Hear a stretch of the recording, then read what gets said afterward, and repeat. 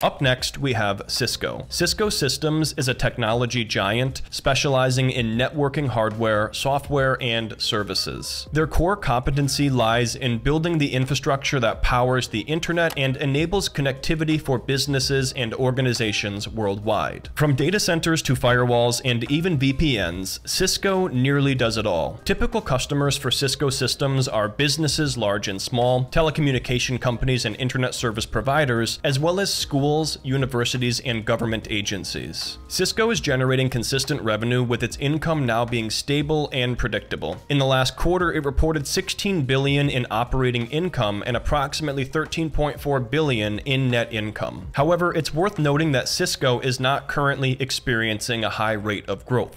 Instead, the company is focusing on strategic acquisitions to enhance its revenue, with the recent purchase of Splunk being a prime example. Looking at the balance sheet, Cisco demonstrates financial prudence, maintaining a manageable debt level.